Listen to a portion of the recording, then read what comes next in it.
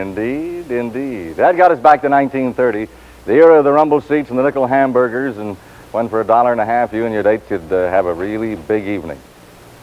Sounds more like dreaming than remembering, doesn't it? Well, while we're on this memory kick, remember when the two most popular cranks in the family wound up first the Tin Lizzie and the other one cranked up the old Victrola? And when you let it go, you'd hear this favorite Charleston number that Smokey Montgomery does for you now, Ain't She Sweet?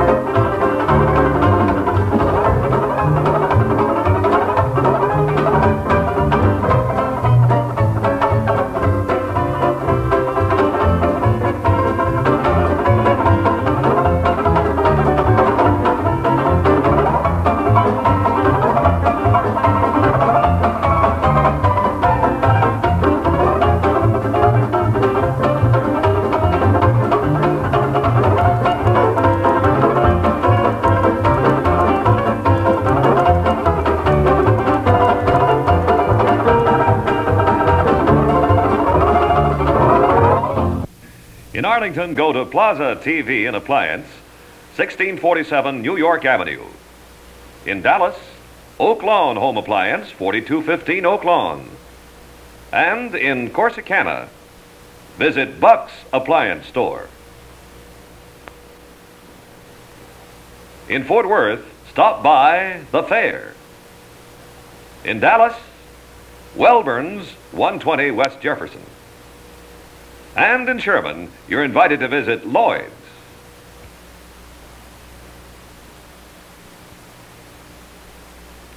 Well, thank you, Frank Mills. Thank you very much. That's real sound advice. That color is here to stay, as I've always said.